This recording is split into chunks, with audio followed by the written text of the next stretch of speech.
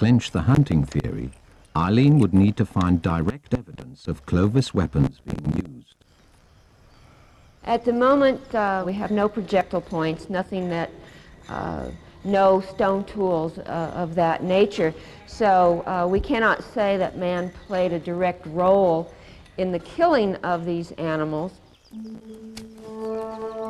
Of the 1,500 mammoth sites across North America, just 60 contain any evidence of the presence of man.